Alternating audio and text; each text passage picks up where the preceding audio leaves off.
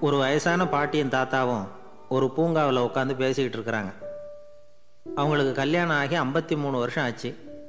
பிள்ளைங்கள்லாம் படித்து பெரிய பெரிய வேலையில் இருக்கிறாங்க. பேரன் பேத்திகளும் நல்ல நிலைமையில் இருக்கிறாங்க. இந்த தாத்தாவும் பாட்டியும் சிரித்து பேசிக்கிட்டு இருந்ததை ஒரு பெரியவர் பார்த்தார். அவருக்கு ஆச்சரியமாக இருந்தது. இந்த வயசுலேயும் இவ்வளவு அந்யோன்யமாக இவங்க பேசிக்கிட்டு இருக்கிறாங்களே அப்படின்னு நினச்சார். சரி நேரிலேயே கேட்டுருவோமே அப்படின்னு நினச்சிக்கிட்டு கிட்ட போனார். உங்கள் மன வாழ்க்கையின் வெற்றிக்கான ரகசியம் என்ன? அப்படின்னு கேட்டார்.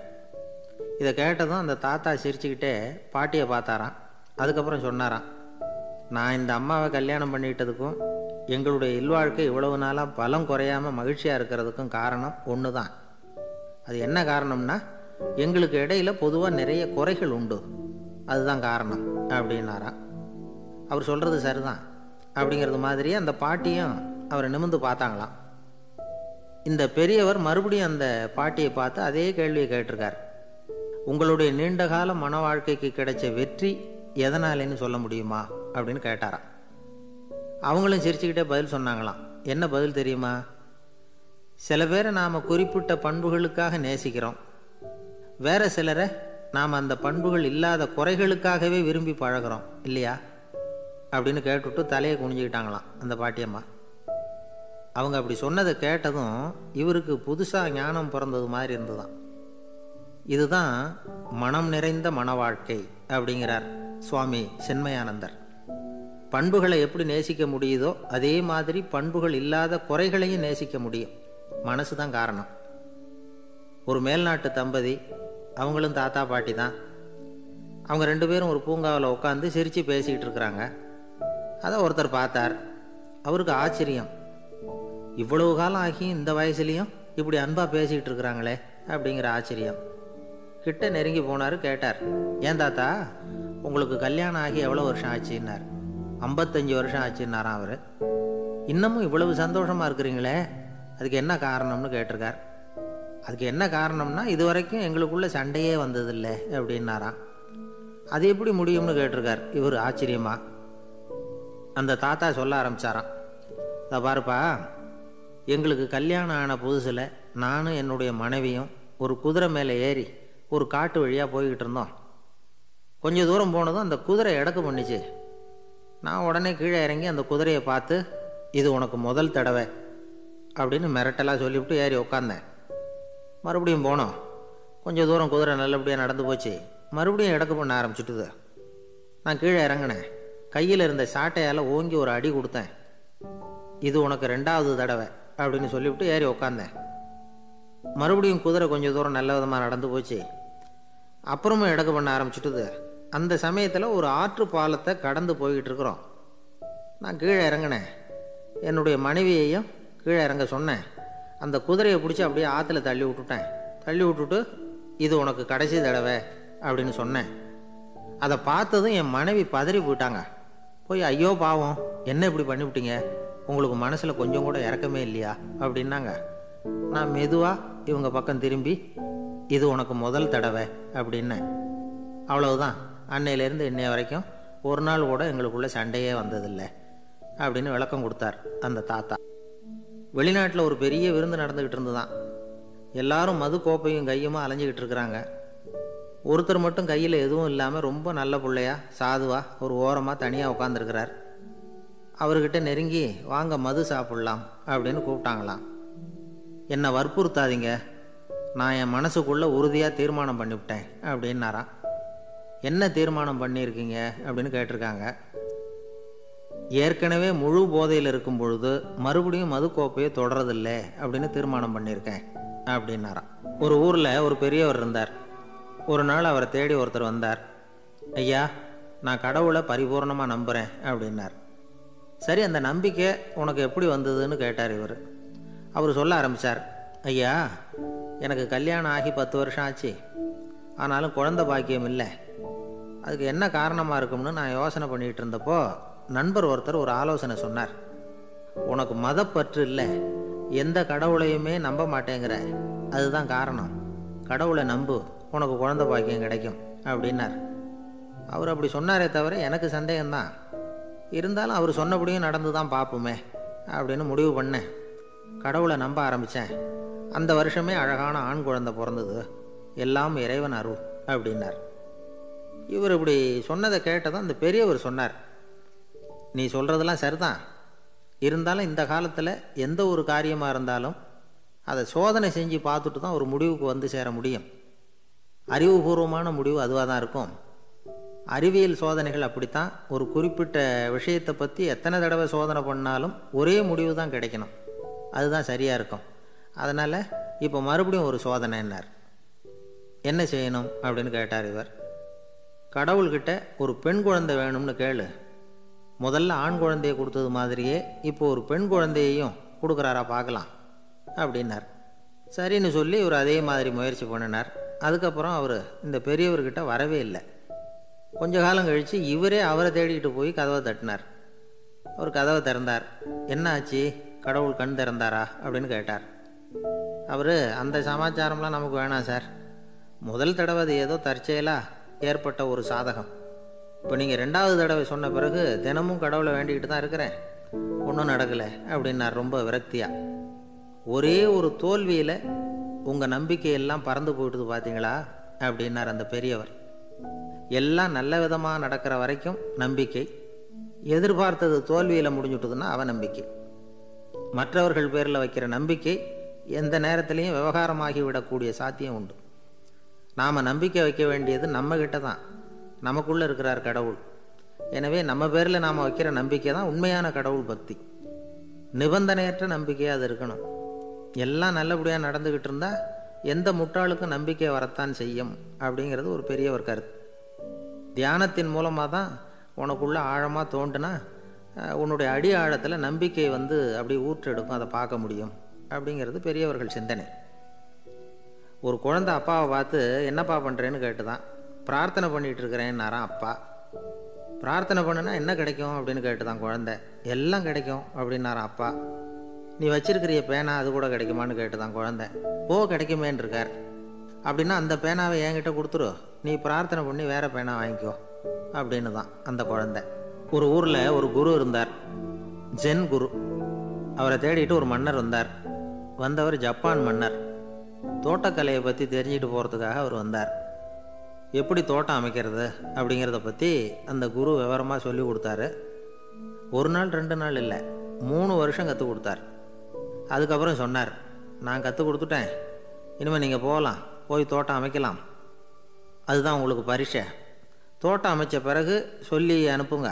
நான் வந்து பார்க்குறேன் நீங்கள் இங்கே என்னவெல்லாம் கற்றுக்கிட்டீங்களோ அதையெல்லாம் அங்கே செயல்முறையில் செஞ்சு காட்டுங்க அப்படின்னு சொல்லி அனுப்பி வச்சார். மன்னர் போனார். அரண்மனைக்கு பக்கத்திலே ஒரு பெரிய தோட்டத்தை உண்டு பண்ணினார். அழகான மரங்களையும் செடிகளையும் உருவாக்கினார். கிட்டத்தட்ட ஆயிரம் தோட்டக்காரர்களை பயன்படுத்தி மூணு வருஷங்கள் முயற்சி பண்ணி அந்த அழகான தோட்டத்தை உருவாக்கினார். குருக்கிட்ட இருந்து செய்தி வந்தது. நாளைக்கு வந்து தோட்டத்தை பார்க்குறேன் அப்படின்னு. மன்னர் உடனே சுறுசுறுப்பாயிட்டார். முதல் நாளே தோட்டத்தை சுத்தப்படுத்தினார். ராத்திரி பூரா யாரும் தூங்கலை. எல்லாருக்கும் தோட்டத்தை ஒழுங்குபடுத்துகிற வேலை. அது அந்தந்த இடத்துல ஒழுங்காக இருக்குதா அப்படின்னு சரி பார்த்தாங்க. ஒரு தவறும் இல்லாத வகையில் அதை ஒழுங்குபடுத்தினாங்க. மறுநாள் குரு வந்தார் தோட்டத்தை பார்த்தார். அவருக்கு கோபம் வந்துட்டுது. மன்னருக்கு ஆச்சரியம். எப்பவும் சிரிச்சுக்கிட்டே இருக்கிறவர் இப்போ எப்படி இருக்கிறாரு அப்படின்னு. மெதுவாக குருக்கிட்ட போய் எல்லாம் சரியாக தானே இருக்குது அப்படின்னார். எல்லாம் சரிதான். ஆனாலும் எங்கே அந்த பொன்னிற காற்று? அப்படின்னார். உதிர்ந்த இலைகள் பொன் மஞ்சள் நிற இலைகள் காற்றில் அப்படி புரண்டு ஓடுவதை நான் பார்க்க முடியவில்லையே அப்படின்னாராம். அது இல்லாமல் இந்த தோட்டம் உயிரோட்டம் உள்ளதாக இருக்காது. இதில் பாடல் இல்லை ஆடல் இல்லை. அதெல்லாம் இல்லாமல் இந்த தோட்டம் ரொம்பவும் செயற்கையாக தெரியுதேன்னாராம். மன்னர் இப்போ தான் யோசனை பண்ணார். கீழே கிடந்த காஞ்சி போன இலைகள் மட்டும் இல்லை மரத்தில் இருந்த காஞ்சி போன இலைகளையும் அப்புறப்படுத்தி சுத்தமாக வச்சிருக்கிறார்.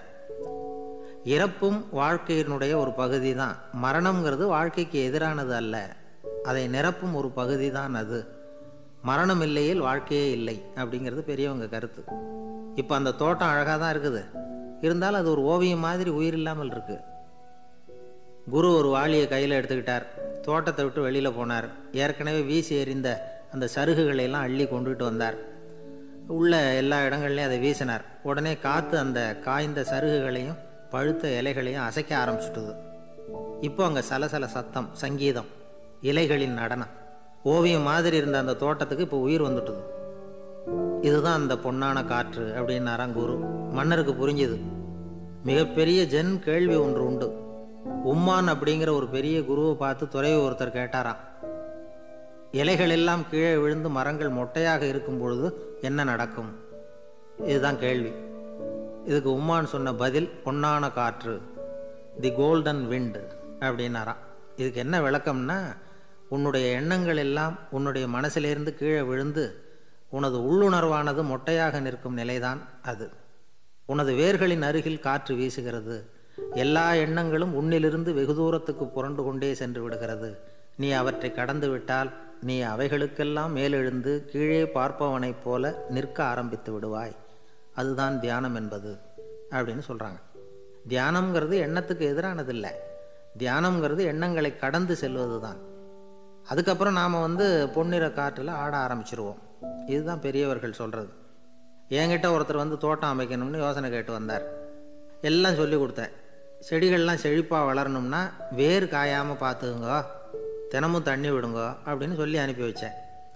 ஒரு மாதம் கழித்து அவர் தோட்டத்தை பார்க்கறதுக்காக போனேன். போய் பார்த்தா எல்லா செடியும் வாடி கிடக்குது. என்னங்க இப்படி பண்ணிவிட்டீங்கன்னு நீங்கள் சொன்னபடி தான் செஞ்சேன்னார். என்ன செஞ்சீங்கன்னு கேட்டேன். வேர் காயாமல் பார்த்துக்க சொன்னீங்க. தினமும் ஒரு தடவை எல்லா செடியையும் ஒவ்வொன்றா பிடுங்கி பார்த்து வேர் காயாமல் இருக்கா அப்படின்னு பார்த்துட்டு அதுக்கப்புறம் தண்ணி பாய்ச்சினேன். அவ்வளவுதான் அப்படின்னார். ஒரு காட்டில் ஒரு முனிவர் இருந்தார். ஒரு நாள் அவரை தேடிக்கிட்டு நாலு பேர் வந்தாங்க. சுவாமி எங்களுக்கு ரொம்ப நாளாக ஒரு சந்தேகம்னாங்க. என்னன்னு கேட்டார். இந்த உலகத்தில் எவ்வளவோ காரியங்கள் நடக்குது. எது நியாயம் எது அநியாயம் அப்படின்னு புரிஞ்சிக்க முடியலன்னாங்க. அது யாராலையும் புரிஞ்சிக்க முடியாதுன்னார் முனிவர். வந்தவங்களுக்கு ஆச்சரியமாக போச்சு. ஒரு மாதிரியாக பார்த்தாங்க. இதை முனிவர் கவனிச்சார். சரி புறப்படுங்க என்னோடன்னார். எங்கன்னு கேட்டாங்க.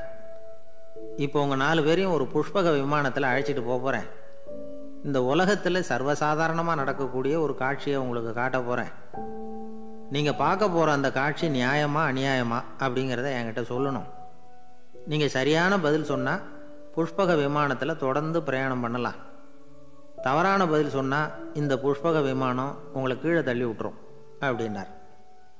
நாலு பேருக்கும் பயந்தான் இருந்தாலும் முனிவர் கூப்பிடுறாரே அப்படின்னு சொல்லி புறப்பட்டாங்க.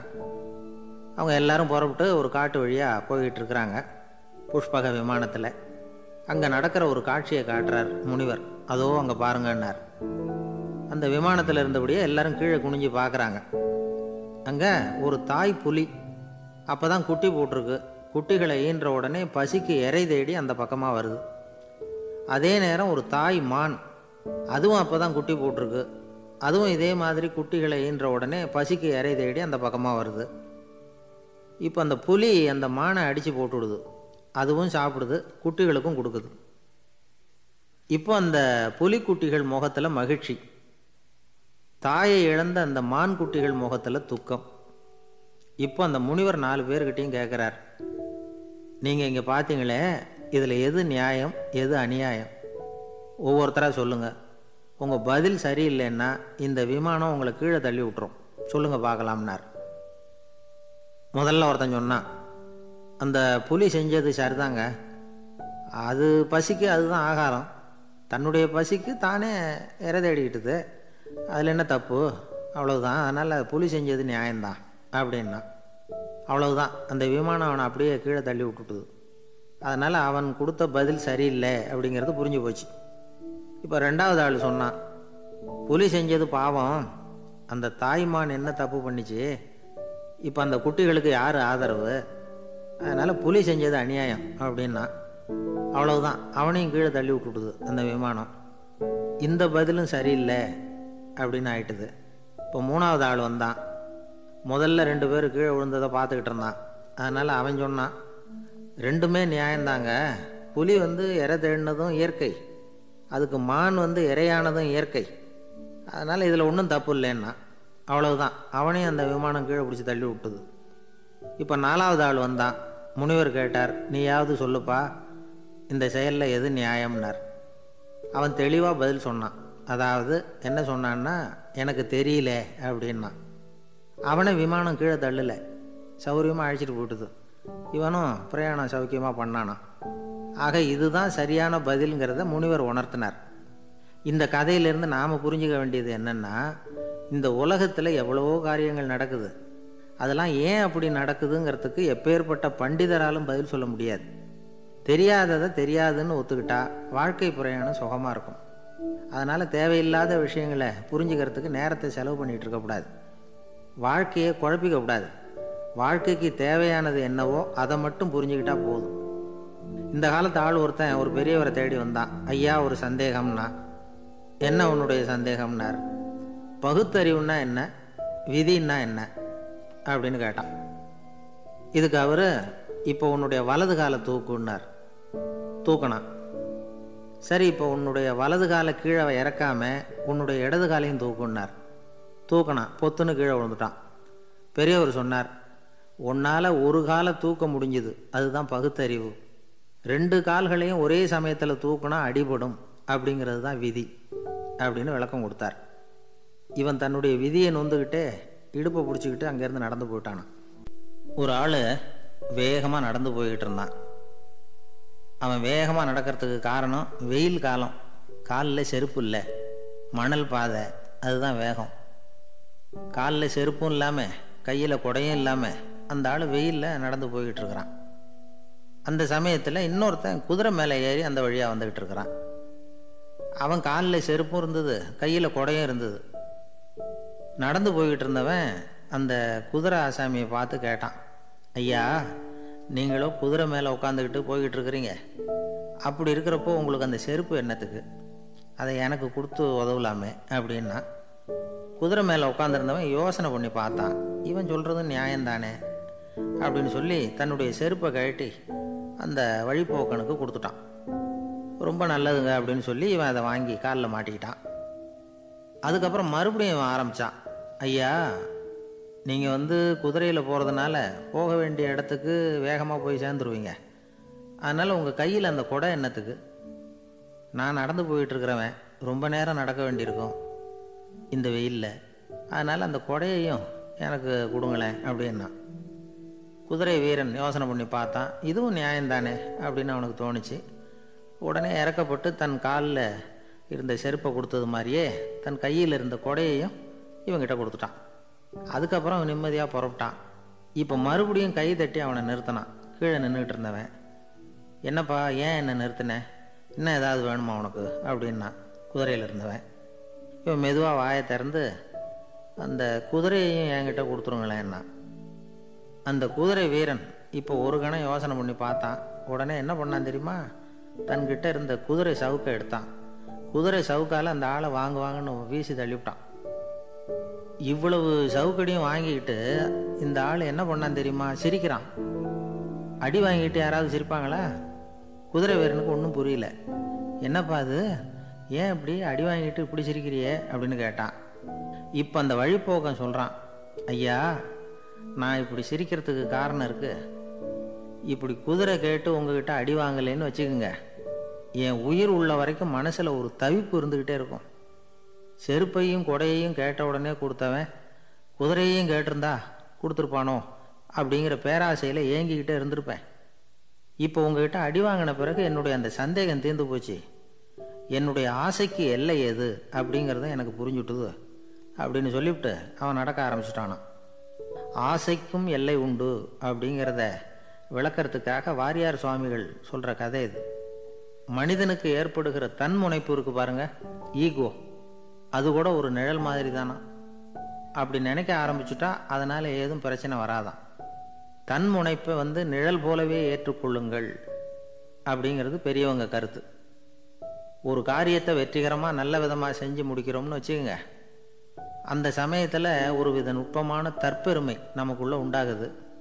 இது இயற்கையானது. அதனால் இது மேலே பற்று வைக்கக்கூடாது. அப்படி வைக்க ஆரம்பிச்சுட்டா அந்த தற்பெருமை ஒரு நிரந்தர விருந்தாளியாக நம்மக்கிட்ட தங்கிக்கும். நம்ம நிழல் எப்படின்னு பாருங்க. நாம் நடக்கும் பொழுது நம்ம பின்னாடியே வரும். தன்முனைப்பையும் அப்படியே நினச்சிக்கோங்க. நிழல் வந்து யாருக்கும் எந்த பிரச்சனையையும் உண்டாக்குறது இல்லை ஆனால் அந்த நிழலை கண்டே நாம் பயப்பட ஆரம்பிச்சுட்டா நாம் எதுலேயும் வெற்றி காண முடியாது. நிழலோட சண்டை போடக்கூடாது. அது மாதிரி தன்முனைப்போடவும் நாம் வந்து சண்டை போட வேண்டியதில்லை. இல்லாத ஒன்றோடு சண்டை போடுறது எப்படின்னா அது இருட்டோட சண்டை போடுறது மாதிரி. நாம் வந்து நிழல் கிடையாது. நம்மக்கிட்ட இருக்கிற தன்முனைப்பு ஒரு நிழல். நம்ம நிழலையும் நமக்கு சமமாக பார்க்குறோம் பாருங்கள் அங்கே தான் சிக்கலே ஆரம்பம். இப்போ நாம் நடந்து போய்கிட்டு இருக்கிறோம். நம்ம நிழல் வந்து தரையில் விழுது. யாரோ ஒருத்தர் நம்ம நிழல் மேலே காலை வச்சு நடந்து போகிறார் உடனே அவர்கிட்ட சண்டைக்கா போகிறோம் ஏண்டா என் நிழலை மிதிச்ச? அப்படின்னு நமக்கு தெரியும். அது நிழல் தாங்கிறது. அவர் உங்கள் மேலே நடக்கலை. உங்களுடைய நிழல் மேலே தான் நடக்கிறார். அது மாதிரி உங்கள் தன்முனைப்பின் மேலே யாராவது நடந்தால் உங்களை அவமானப்படுத்துறதா நினைக்கிறீங்க.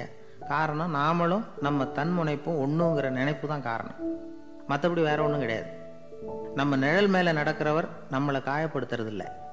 தன்முனைப்பை வேண்டாத ஒன்றாவும் பார்க்க வேண்டியதில்லை. அது வந்து இயற்கை.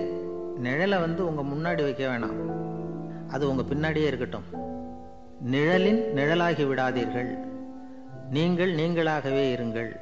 இதுதான் சான்றோர் சிந்தனை. ஒரு பேருந்தில் ஒரே நெரிசல். ஒருத்தர் பக்கத்தில் நின்றுக்கிட்டு இருந்தவர்கிட்ட ரொம்ப பணிவாக விசாரித்தார் ஏன் சார்? நீங்கள் ஏதாவது பெரிய உத்தியோகத்தில் இருக்கிறீங்களா? அப்படின்னார். அப்படிலாம் ஒன்றும் இல்லைங்கன்னார் அவர். அப்படின்னா வேறு ஏதாவது அரசியலில் பெரிய பதவியில் இருக்கிறீங்களா? அப்படின்னு கேட்டார். அதுவும் இல்லைங்கன்னார் சரி பணமாவது அதிகமாக வச்சுருக்கீங்களா? அப்படின்னு கேட்டார். அப்படிலாம் ஒன்றும் கிடையாது சார்னார் அவர். அப்புறம் எதுக்குடா என் காலை மிதிச்சுக்கிட்டு இருக்கிற? எடுறா காலை அப்படின்னாராம் இவர். ஒரு ரயில் வேகமாக போயிட்டுருக்கு. அது ஒரு ரயில்வே ஸ்டேஷனில் கொஞ்ச நேரம் நின்றுது அப்போது அதில் ஒரு ஆள் ஏறினார். தலையில் ஒரு மூட்டையை வச்சுருந்தார். மூட்டையை தலையில் சுமந்துக்கிட்டே உள்ளே வந்தார். மூட்டையை தலையில் சுமந்துக்கிட்டே ஒரு இடத்துல உட்காந்தார் ரயில் மறுபடியும் புறப்பட்டுது. இவர் தன் தலையில் இருந்த மூட்டையை கீழே இறக்கி வைக்கணும்ல? வைக்கல. சுமந்துக்கிட்டே வரார்.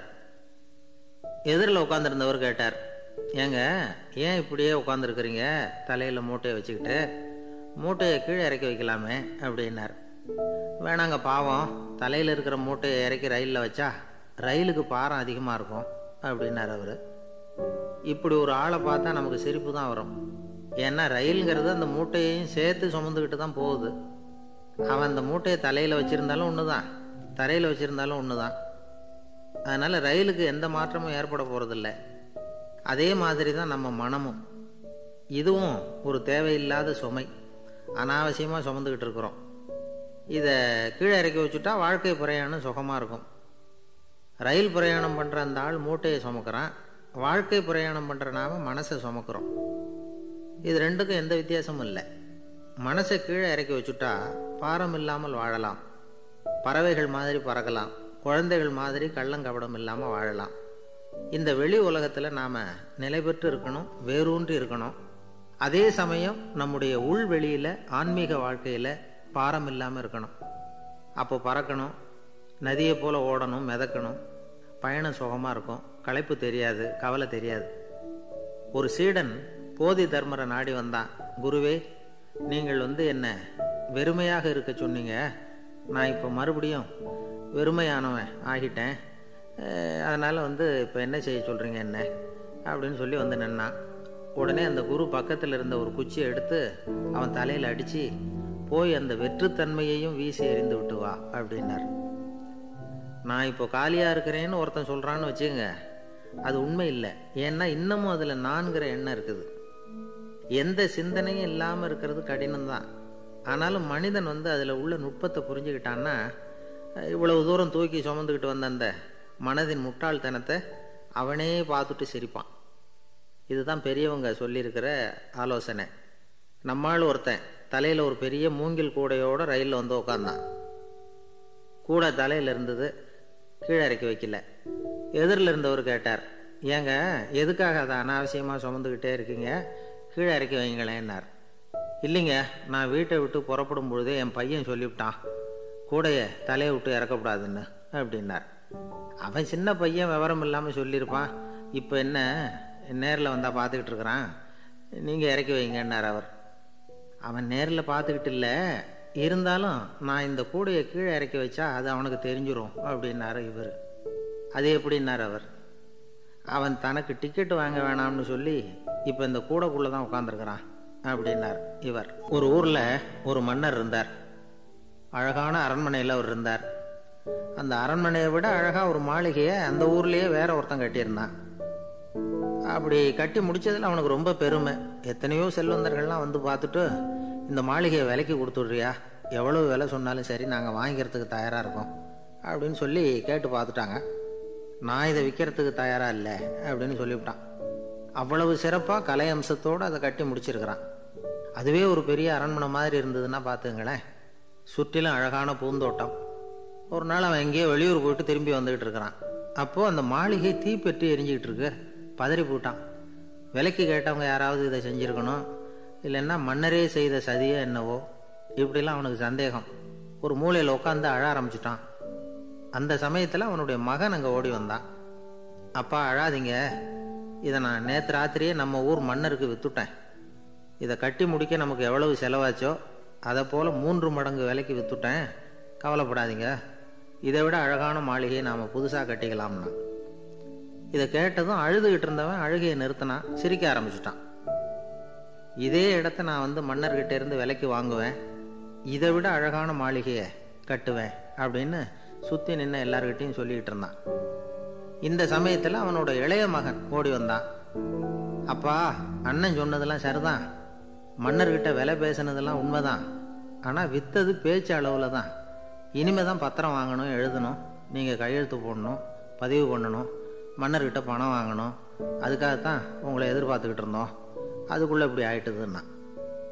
இப்போ சிரிச்சுக்கிட்டு இருந்தவன் சிரிப்பை நிறுத்தினான் மறுபடியும் குழந்த மாதிரி அழ ஆரம்பிச்சிட்டான். இது ஒரு சம்பவம். இதிலிருந்து என்ன தெரியுது? அந்த அழகான மாளிகை தன்னுடையது அப்படின்னு நினைக்கும் பொழுது அவனுக்கு அழுகை வந்தது. அது தன்னுடையது இல்லை அப்படின்னு நினைக்கிற போது சிரிப்பு வந்தது. மறுபடியும் அது தன்னுடையது தான் அப்படிங்கிற உணர்வு வரும்பொழுது அழுகை. எது எதிலிருந்து நீ நீங்கி இருக்கிறாயோ அது அதிலிருந்து உனக்கு துன்பம் இல்லை அப்படிங்கிறார் திருவள்ளுவர். இந்த உடம்பு என்னுடையதில்லை அப்படிங்கிற உணர்வு வந்துட்டா அது ஒரு பெரிய நிலை. அந்த நிலை வந்து வரணும். எல்லாத்தையும் பயன்படுத்திக்கலாம். ஆனால் பற்றில் விழுந்துடக்கூடாது உலகத்தில் இருங்கள் ஆனால் உலகத்தவராக இருக்காதீர்கள். உலகிற்குள் இருங்கள் உலகம் உங்களுக்குள் வந்துவிட அனுமதிக்காதீர்கள். விலகி இருங்கள் விழித்திருங்கள் மௌனமாய் பார்த்திருங்கள் அப்படிங்கிறது சான்றோர் கருத்து. செய்ய வேண்டிய கடமையிலிருந்து விலகி இருக்கிறவர்கள் நம்மகிட்ட நிறைய பேர் உண்டு. அப்படிப்பட்ட ஒருத்தர் டாக்டர்கிட்ட போனார். டாக்டர் நான் ஒரு கவர்மெண்ட் ஆஃபீஸில் வேலை பார்க்குறேன். எனக்கு ஒரே அசதியாக இருக்குது என்னை சோதிச்சு பாருங்க ஆலோசனை சொல்லுங்க ஏதாவதுன்னார். டாக்டர் அவரை பரிசோதனை பண்ணி பார்த்துட்டு சொன்னார். இதோ பாரு உனக்கு இப்போ தேவைப்படுறது முழு ஓய்வு. நீ எவ்வளவு சீக்கிரமாக ஆஃபீஸுக்கு போறியோ அவ்வளவுக்கு உனக்கு நல்லது அப்படின்னாராம். எனக்கு தெரிஞ்ச ஒருத்தர் இருக்கார். அவர் ஒரு பெரிய காவல்துறை அதிகாரி.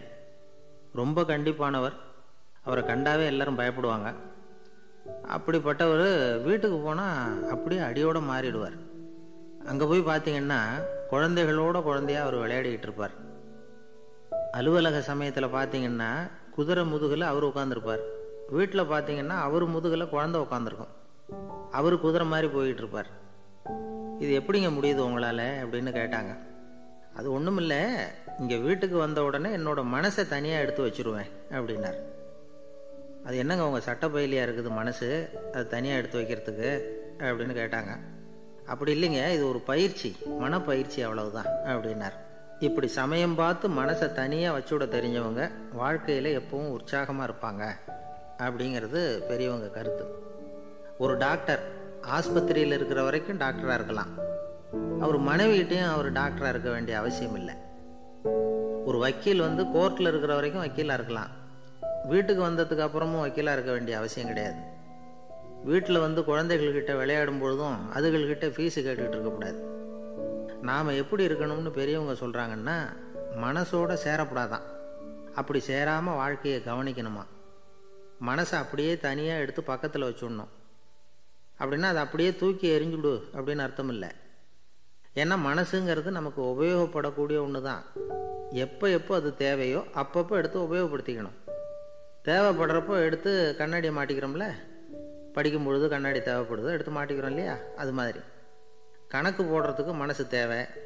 கடைக்கு போய் ஒரு பொருள் வாங்குகிறோம் காசு கொடுக்குறோம் மீதி சில்லற சரியாக இருக்கா அப்படின்னு எண்ணி பார்த்து வாங்க வேண்டியிருக்கு. அந்த சமயத்தில் மனசை எடுத்து தனியாக வச்சுட்டேன் அப்படின்னு சொல்லிகிட்டு இருக்கக்கூடாது பரீட்சைக்கு படிக்க வேண்டியிருக்குது. படித்ததையெல்லாம் அப்படியே நினைவில் வச்சுக்க வேண்டியிருக்கு. அந்த சமயத்தில் மனசை தூக்கி எறிஞ்சுட்டேன் சார் அப்படின்னு சொல்லிட்டு இருக்கக்கூடாது அப்படி சொன்னால் பரீட்சை நம்மளை தூக்கி எறிஞ்சிரும். அதனால் தேவைப்படுறப்போ மனசை உபயோகப்படுத்தணும். தேவையில்லாதப்போ அது தனியாக ஓய்வு எடுத்துக்க விட்டுடணும் இப்படி நாம் பழக்கப்படுத்திக்கிட்டா வாழ்க்கைங்கிறது நமக்கு புதுசாக தெரியுமா? மனசுக்கும் ஒரு சக்தி கிடைக்கும். எந்திரங்களுக்கு ஓய்வு கொடுக்குற மாதிரி மனசுக்கும் ஓய்வு கொடுக்கணும். இல்லைன்னா அது களைச்சி போயிடும். குழந்தைகள் மனசை சுமந்துக்கிட்டு இருக்கிறது இல்லை. இது வந்து முதியவர்கள் குழந்தைகள்கிட்டே இருந்து கற்றுக்க வேண்டிய ஒரு பாடம். ஆனாலும் இந்த கால குழந்தைகள்கிட்ட ரொம்ப எச்சரிக்கையாக இருக்க வேண்டியிருக்கு. ஒரு தாத்தாவும் பேரனும் விளையாடிக்கிட்டு இருக்கிறாங்க. தாத்தா எனக்கு சைக்கிள் ஓட்ட கற்றுக்கொடு அப்படிங்கிறான் பேரன். சைக்கிள் உயரம் கூட இல்லை அதுக்குள்ளே சைக்கிள் ஓட்டணுமா? அப்படின்னார் தாத்தா. ஏன் தாத்தா ரயில் ஓட்டுறாரு அவர் என்ன ரயில் நீளமாக இருக்கார்? அப்படின்னு கேட்டானா அந்த பையன்.